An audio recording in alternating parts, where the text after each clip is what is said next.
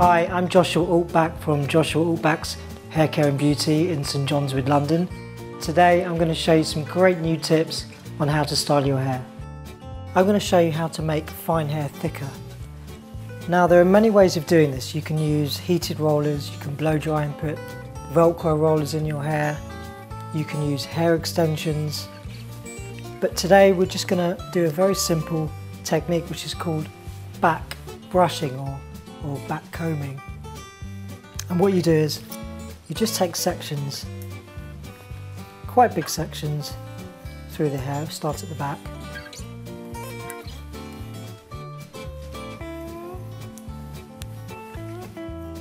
And using, you can use a paddle brush which I'm using today, you just back brush the hair underneath, just at the roots.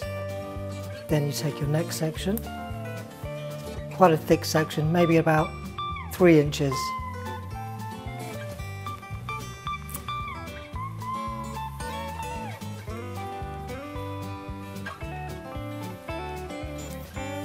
Take your middle section first and then just back brush the underneath.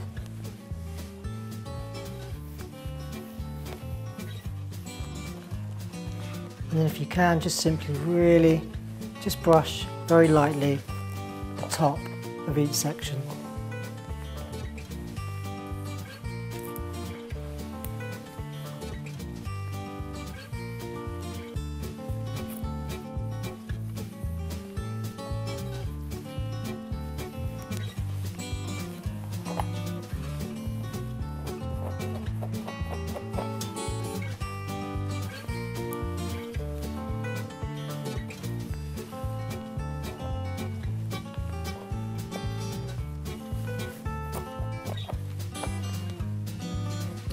Okay, so once you've backbrushed all the underneath,